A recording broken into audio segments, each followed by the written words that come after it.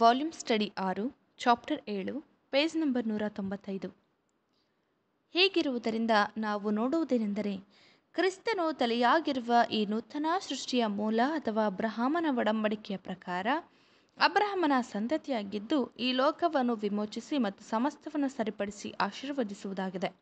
ಕರ್ತನ ಮತ್ತು ಅಪೋಸ್ತಲನು ತಮ್ಮ ಚಿತ್ರಣದಲ್ಲಿ ಉಪಯೋಗಿಸಿರುವಂತೆ, ಈ ನೂತನ ಸೃಷ್ಟಿಯು ಕೆಲವು ಸಮಯಪೂರ್ಣ ನಿಲುವಿನ ಮನುಷ್ಯನಂತೆ ಅಂದರೆ ಶಿರವು ಕ್ರಿಸ್ತನನ್ನು, ದೇಹವು, ಸಭೆಯನ್ನು, ಅಂಗಾಂಗಗಳು ಸಭಾ ಸದಸ್ಯರನ್ನು ಪ್ರತಿನಿಧಿಸುವಂತೆ ಕಂಡುಬಂದಲ್ಲಿ ನಾವು ಆಶ್ಚರ್ಯಪಡಬೇಕಾಗಿಲ್ಲ.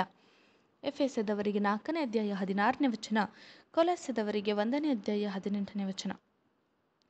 ಆದುದರಿಂದ ಸಹೋದರರೇ, ಇಸಾಕನಂತೆಯೇ ನೀವೂ ಸಹ ವಾಗ್ದಾನದ ಮಕ್ಕಳಾಗಿದ್ದೀರಿ. ಪ್ರತಿ ಸಂಕೇತನಾದ ಇಸಾಕನ ಸದಸ್ಯರಿಗೆ ಕ್ರಿಸ್ತನೇ ಶಿರಸ್ಸು.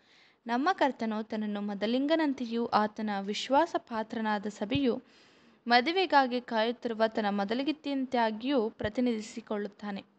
ಅಪೋಸ್ತಲರು ಸಹ ಇದೇ ಚಿತ್ರಣವನ್ನು ನೀಡುತ್ತಾ, ನಿಮ್ಮನ್ನು ಕ್ರಿಸ್ತನೆಂಬ ಒಬ್ಬನಿಗೆ ಪುರುಷನಿಗೆ, ಒಬ್ಬನೇ ಪುರುಷನಿಗೆ ಶುದ್ಧ ಕನ್ಯೆಯಂತೆ ಒಪ್ಪಿಸಬೇಕೆಂದು ಆತನಿಗೆ ನಿಶ್ಚಯ ಮಾಡಿದ್ದೇನಲ್ಲ? ಎರಡು ಕೊರಿಂತ ಹನ್ನೊಂದನೇ ಅಧ್ಯಾಯ ಎರಡನೇ ವಚನ. ಅದು ತನ್ನ ಗಂಡನಿಗೋಸ್ಕರ ಅಲಂಕೃತಳಾದ ಮೊದಲಿಗಿತ್ತೆಯಂತೆ ಶೃಂಗರಿಸಲ್ಪಟ್ಟಿತು ಪ್ರಕಟಣೆ ಇಪ್ಪತ್ತೊಂದನೇ ಅಧ್ಯಾಯ ಎರಡನೇ ವಚನ. ಎಂತಲೂ ಬರೆಯುತ್ತಾರೆ, ಕ್ರಿಸ್ತನು ಹಾಗೂ ಆತನ ಸಭೆಯ ಮದುವೆಯ ಇದೇ ಚಿತ್ರಣದ ಪ್ರತಿರೂಪವು ಅಬ್ರಹಾಮನು ತನ್ನ ಸೇವಕನಾದ ಎಲಿಏಜರ ಆತನು ಪವಿತ್ರಾತ್ಮನ ಪ್ರತಿಸಂಕೇತವನಾಗಿದ್ದಾನೆ. ಎಲಿಯೇಜರನ್ನು ತನ್ನ ಮಗನಾದ ಇಸಾಕನಿಗೆ ಹೆಣ್ಣು ನೋಡಲು ಕಳಿಸಿದಾಗ ಕಂಡುಬರುತ್ತದೆ ಆದಿಖಂಡ ಇಪ್ಪತ್ನಾಲ್ಕನೇ ಅಧ್ಯಾಯ ಎರಡನೇ ವಚನ.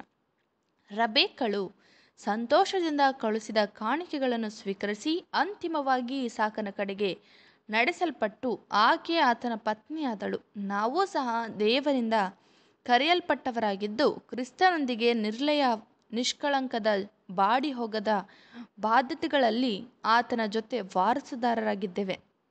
ಈ ಯಾವುದೇ ಒಂದು ಚಿತ್ರಣವನ್ನು ನಾವು ಪರೀಕ್ಷಿಸುವುದಾದರೂ ಅದರ ಪಾಠವು ಒಂದೇ. ಕ್ರಿಸ್ತನು ಶಿರಸ್ಸು ಮತ್ತು ದೇಹ ಮದಲಿಂಗನು ಮತ್ತು ಮೊದಲಿಗಿತ್ತಿ.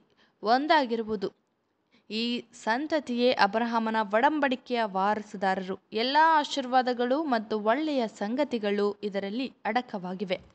ಅಪೋಸ್ತಲನ್ನು ಸಾರಿ ತಿಳಿಸುವುದೇನೆಂದರೆ, ಸಿನಾಯಿ ಬೆಟ್ಟ ಮತ್ತು ಈ ಲೋಕದ ಎರೋಸೆಲೆಂ ಆತ್ಮಿಕ ಆಶೀರ್ವಾದಗಳನ್ನು ಗಳಿಸಲು ವಿಫಲವಾದ ಸ್ವಾಭಾವಿಕವಾದ ಇಸ್ರೇಲಿನ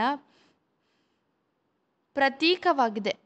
ಈ ಆತ್ಮಿಕ ಆಶೀರ್ವಾದಗಳನ್ನು ಹೊಂದಿಕೊಳ್ಳಲು ಯೋಗ್ಯರಾಗಿ ಕಂಡುಬಂದ ಸ್ವಾಭಾವಿಕ ಇಸ್ರೇಲಿನ ಶೇಷವು ಇಹಲೋಕ ಸಂಗತಿಗಳ ಮೇಲೆ ಆತುಕೊಂಡಿದ್ದ ಇಸ್ರೇಲರಿಂದ ಪ್ರತ್ಯೇಕಿಸಲ್ಪಟ್ಟು ದೇವರ ನಿಜವಾದ ಇಸ್ರೇಲಿನ ಸದಸ್ಯರು, ದೇವರು ತಾನು ಪ್ರೀತಿಸಿದವರಿಗೆ ಕಾದಿರಿಸಿದ ಪರಲೋಕದ ಸಂಗತಿಗಳಲ್ಲಿ ಪುನರುತ್ಥಾನಗೊಂಡ ಕ್ರಿಸ್ತನ ಜೊತೆ ವಾರಸುದಾರರು ಆದರು.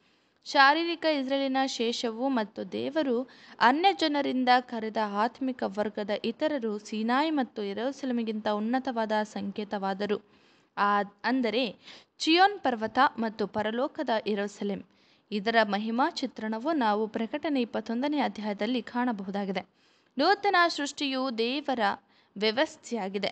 ಒಡಂಬಡಿಕೆಗಳು ಸಾಮಾನ್ಯವಾಗಿ ಈ ಲೋಕದಿಂದ ಮಾತ್ರವಲ್ಲ ಶಾರೀರಿಕ ಹೆಸರಿನಿಂದಲೂ ಬೇರೆ ಮತ್ತು ಭಿನ್ನವಾದವುಗಳು ಮತ್ತು ನೂತನ ಸೃಷ್ಟಿಯು ಸೀನಾಯಿಯ ಧರ್ಮಶಾಸ್ತ್ರ ಒಡಂಬಡಿಕೆಗಳಿಗೆ ಒಳಪಟ್ಟಿಲ್ಲ, ಆದರೆ ಮೂಲ ಒಡಂಬಡಿಕೆ ಮಾತ್ರವೇ ಒಳಪಟ್ಟಿದೆ ಎಂಬ ಸತ್ಯವನ್ನು ಸ್ಥಿರಪಡಿಸಿದ ಮೇಲೆ ನಾವು ಅಬ್ರಹಾಮನ ಒಡಂಬಡಿಕೆಗೆ ಯಾವ ಕಾನೂನು ಸಂಬಂಧಿಸಿದೆ ಎಂದು ವಿಚಾರಿಸುತ್ತೇವೆ. ನೂತನ ಸೃಷ್ಟಿಯು ಯಾವ ಕಾನೂನಿನ ಅಡಿಯಲ್ಲಿದೆ? ಅಪೋಸ್ತಲನು ಇದಕ್ಕೆ ಉತ್ತರಿಸಿ, ನೀವು ಧರ್ಮಶಾಸ್ತ್ರದೀನರಲ್ಲ, ಕೃಪಾಧೀನರಾಗಿದ್ದೀರಿ. ರೋಮಪುರದವರಿಗೆ ಆರನೇ ಅಧ್ಯಾಯ ಹದಿನಾಲ್ಕನೇ ವಚನ ಎಂದು ಹೇಳುತ್ತಾನೆ. ಏನು? ನಾವು ಸಾಧ್ಯವೇ? ಇದು ಸಾಧ್ಯವೇ? ಏಸು ಕ್ರಿಸ್ತನಲ್ಲಿರುವ ನೂತನ ಸೃಷ್ಟಿಗಳಿಗೆ ಯಾವುದೇ ಕಟ್ಟಳೆಗಳು ಇಲ್ಲವೇ? ದಶಾಗ್ನಿಗಳಿಗೆ ಅವರು ಬದ್ಧರಲ್ಲವೇ? ಇದಕ್ಕೆ ಉತ್ತರವಾಗಿ ನಾವು ಮತ್ತೊಂದು ಪ್ರಶ್ನೆಯನ್ನು ಕೇಳುತ್ತೇವೆ. ಈ ದಶಾಜ್ಞೆಗಳಿಗೆ ಅಬ್ರಹಮನಾಗಲಿ, ಇಸಾಕನಾಗಲಿ ಬದ್ಧರಾಗಿದ್ದರೆ ಬದ್ಧರಾಗಿದ್ದಾರೆ. ಇದಕ್ಕೆ ಉತ್ತರವು ಇಲ್ಲ. ನಾವು, ಅವು ಅವರಿಗೆ ಕೊಡಲ್ಪಟ್ಟಿರಲಿಲ್ಲ. ಆದುದರಿಂದ ಅವರು ಅವಕ್ಕೆ ಬದ್ಧರಾಗುವುದಿಲ್ಲ ಎಂದಾದ ಎಂದಾದರೆ ನೂತನ ಸೃಷ್ಟಿಗಳಿಗೆ ಸಹ ಈ ಕಟ್ಟಳೆಗಳು ನೀಡಲ್ಪಟ್ಟಿರುವುದಿಲ್ಲ ಎಂಬುದು ನಮ್ಮ ಉತ್ತರವಾಗಿದೆ. ಕ್ರಿಸ್ತನ ದೇಹವೆಂಬ ಆತ್ಮಿಕ ವರ್ಗದ ಸದಸ್ಯರಾಗಿ ಯೇಸು ಕ್ರಿಸ್ತನಲ್ಲಿ ನೂತನ ಸೃಷ್ಟಿಗಳಾಗಿ ಯಾರು ದೇವರ ಸಂಬಂಧಕ್ಕೆ ಬರುತ್ತಾರೋ ಅವರೆಲ್ಲರೂ ದಂಡನೆಯಿಂದಲೂ ಧರ್ಮಶಾಸ್ತ್ರದ ನಿಬಂಧನೆಗಳಿಂದಲೂ ಮುಕ್ತರಾಗಿರುತ್ತಾರೆ. ದೇವರಿ ವಾಕ್ಯವನ್ನು ಆಶೀರ್ವದಿಸಲಿ. ಆಮೇನ್.